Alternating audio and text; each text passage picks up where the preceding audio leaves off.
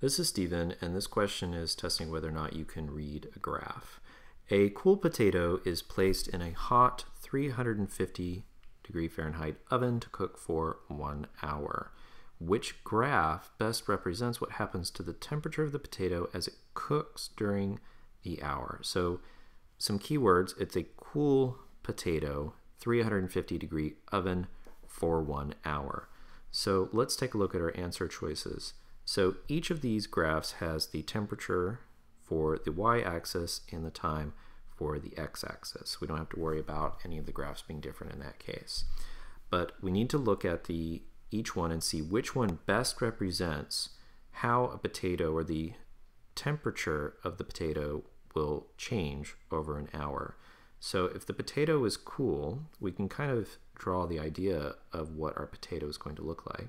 If the potato is cool, it's going to start somewhere down here and then go up. But the thing to remember is that a potato or anything being cooked is not going to become more than the temperature that the oven has it at. It's not the way that food works. So we need to make sure that the graph does not go above this value here. So let's find which one does that. So if you look at answer choice A to start, Let's use a different color here. Answer choice A to start. It starts below 100 degrees, so that definitely seems like a potato or a cool potato, and then goes up. It doesn't go up into this 400 region. It kind of looks like it's going to stay closer to about 350 degrees. So A is definitely in the running. B starts the potato at almost above 350 degrees. So this is not a cool potato, this is a hot potato, so we're not going to even bother looking at this one. So answer choice T, C does a similar thing to answer choice B, starts the potato hot. That doesn't really make any sense.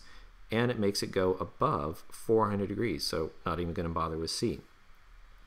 Now, answer choice D has, has a cool, uh, cool potato, like answer choice A, but take a look at the temperature. It goes well above 400 degrees Fahrenheit, which is more than what the oven is at.